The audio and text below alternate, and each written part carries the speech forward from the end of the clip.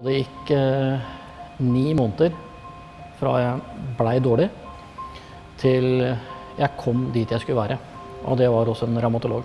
Og fikk da påvist sykdommen Bechdrev, som den het den gangen. Så begynte da kampen om et nytt liv så, som revmatiker. Tidligere så mente man at for denne gruppen personer så var det beste å hvile. Og så vet vi nå at med forskning så viser det at det er minst like viktig, om ikke viktigere, å være i fysisk aktivitet for også denne gruppen. Eh, det handler om at det øker den fysiske prestasjonsevnen. Det bringer med seg flere psykologiske positive bivirkninger. Og så er det med på å redusere funksjonstap.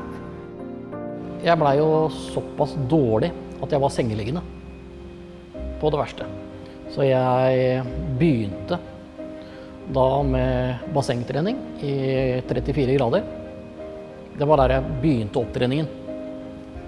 Og i tillegg så gikk jeg da til fysioterapeut. Og jeg da på et fysikalsk institutt. Og jeg da fikk rettledning i trening. Og brukte det i mange år. I tillegg til statlige behandlingsreiser til utlandet.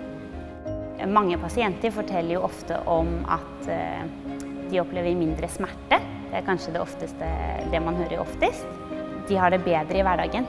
Det er lettere å komme seg opp om morgenen. De føler seg mer bevegelige. De klarer nå ting som de ikke klarte tidligere.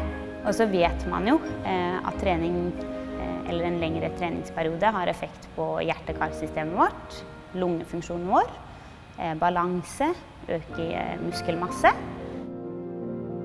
Det er jo det å få rettledning, så man gjør ting riktig og ikke galt.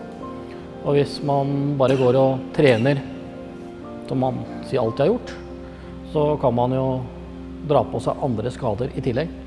Så det å få rettledning og veiledning, det er veldig, veldig bra.